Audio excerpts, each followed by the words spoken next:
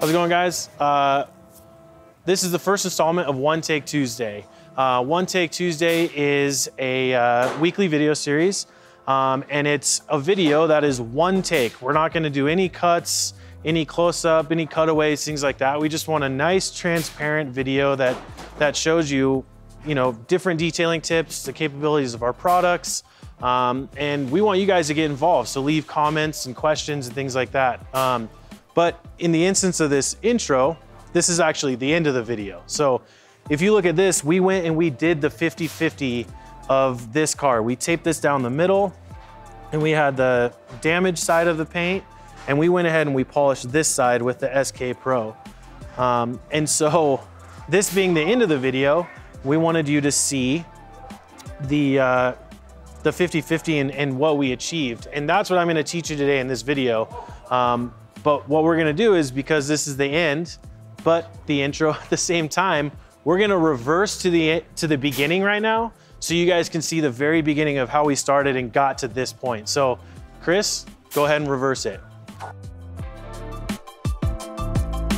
Today we're gonna do polishing um, and I have the perfect subject right here. This nice BMW, our, uh, our buddy Derek upstairs, uh, he let us use this. It's been neglected and washed with, it looks like sandpaper, but um, there's some very clear scratching here. Um, and what I wanna do is I'm gonna tape this right down the middle and uh, we're gonna do the 50-50. So let's go ahead and get started. So tape, and just uh, disclosure uh, for this, we're, we're doing a one take on the whole thing. We're not cutting once. Um, but there will be instances where Chris, my editor who's behind the camera right now, will maybe speed it up, uh, do some time remapping, uh, just so we can get through kind of the boring pieces of it. So he'll probably do that as I tape this because I know you guys don't want to watch me tape. So got this nice taped off right here in the middle.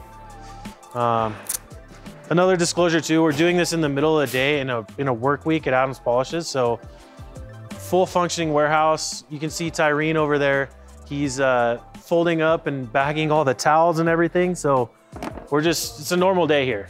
If, if we weren't doing it on video, we'd be doing it just for fun, testing products and things. So um, I just wanna make that kind of clear. So we're gonna be doing the SK Pro uh, today. Um, just, I like this machine a lot. You know, it has the detachable cord, the light, um, and with the condition of this paint right now, it's really scratched. I know that I need to use microfiber. I need to be the most aggressive on this. It's just, it's just the reality of, of where this paint is. So I'm gonna start with the microfiber and I like to center it with uh, the uh, center of the polisher with the center of the pad. Go ahead and get this plugged in. Just like that. And microfiber pad with the blue foam on it gives you the compound. So I'm just gonna do a little bit of compound I like to incorporate this into, uh, into the pad a little bit. And I wanna take the cord and put it over my shoulder. And I'm gonna start on setting five for the speed. Um, I might bump it up to six, but I just, five is just a good place to start with. Five or four, you know, depending on how aggressive you want to be. I'm to start on five. So. Now, before I go through this, I just want to explain something. Uh, with polishing, the technique of how you polish is going to be the thing that warrants the best results. So uh, there's kind of four things I really think about when I'm polishing. That is number one, the plane of the pad on the surface. So plane would be, to me, is like a flat surface. So I want this plane to be flat. I want the pad to be flat on the surface. I don't want it on an edge, anything like that. I just want it flat. Wherever it kind of curves, I need to go with that, keep the plane um, flat. The pressure of my hand, how hard I press down. Um, you want to press down just enough where you hear the polisher kind of bog down a little bit. You can hear it um, usually to us, we say two to three pounds of downward pressure. Um, the uh, pace, which would be like the speed of how fast I'm going, you'll see once I start how fast I start going, you go at a pretty slow pace.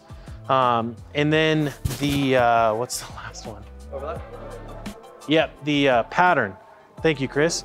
the pattern, and that is like you're mowing the lawn. So make a nice straight line this way. You overlap by an inch or quarter of an inch, half an inch, and you just make the pattern and you wanna do side to side and up and down. That would be one pass. So that's the technique, right? We start it, lock it in, and then we put the pressure down. So you can kind of hear it bog down a little bit.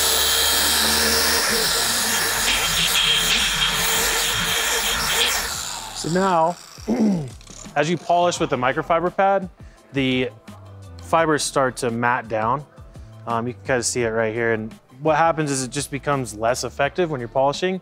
It just glides along the surface rather than all those fibers getting into all the scratches and everything. So grab a pad conditioning brush. We brush this out. easiest way is just hold it down low, turn it on, hold it the button down, and then run the brush over it and you can see, right here, check this out. You can see it all just comes right back to life. And then again, you see all the blue in there, that's the polish, not the polish, that's the compound that we're using. And that compound, the abrasives, they can start to dry out. So the way to get that back is grabbing detail spray, or you could just use water, it doesn't matter. Do water, detail spray or water whatever one you have handy. I have water handy. And you can see how much polish is still in there. There's a ton of polish still in the pad, so there's no reason to keep adding polish to it. You wanna rehydrate the solids that are in the pad. Just spread it out again and keep going. One thing I wanna talk about is um, I use the integrated light on the SK Pro. I just turned it on. Um, and the reason why I did that is it gives me a reference. I can kind of get the right angle, but I can see um, my progress. It's kind of a pulse check while I'm polishing. Sorry about that, but it's kind of a pulse check while I'm polishing. So I can monitor my progress essentially. And you know, here in the Shine Stop, we have nice lighting.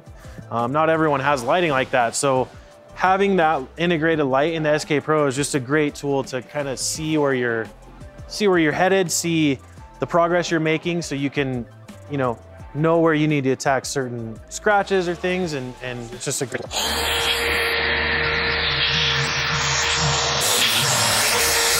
I can see with the light, I, I got most of these scratches out. Um, but one thing I do see, it's, it's a little hazy, which is natural when you're using the compound and the microfiber pad. Um, it being the most aggressive method of polishing, you're gonna get a natural haze. It's just the reality. And really that doesn't bother me because I know I can get that out with the polish. Um, really what I'm using the microfiber and the compound for is to get the deeper scratches out first, and then I can go back and reduce the haze and make it a mirror finish with the polish. So that's where I'm headed right now. So get the polish going. And again, color coded, white with white super easy. So again, centering it with the center hole on the pad and the polisher, get that on there and then grabbing the polish.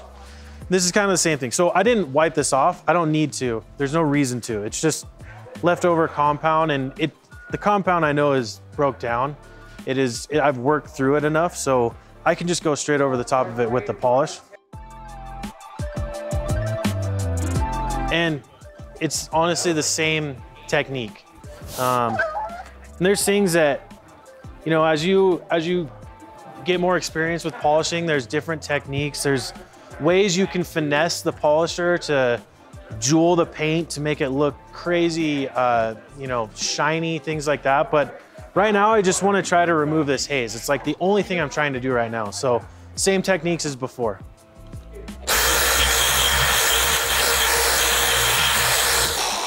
All right.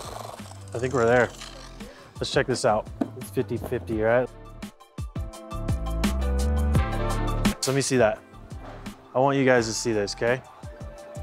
I want to be able to see this 50-50. So you guys can see it over here. Let's take this tape off. Okay, check this out.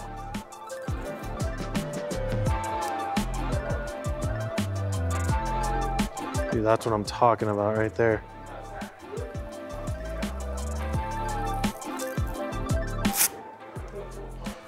Look at how crazy that is. That is a polishing 50-50. That's pretty cool. So just with, I mean, two pads, a compound and a polish, just like that. There's the system.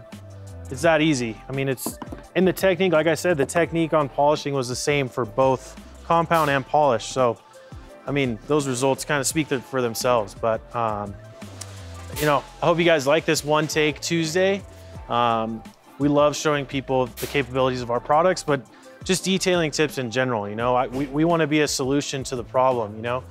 The problem is your paint looks like this, this we have the solution for it. So um, that's kind of like why we wanted to do this. And again, I want you guys to get involved. If, if you have questions, comments, you know, what do you guys want to see? I, I, I want to know the questions. If it's interior, if it's ceramics, if you want to see, you know, one take Tuesday on how the UV ceramic works, you know, we're, we're down to do anything. So um, we look forward to the questions and comments and uh, thanks for watching.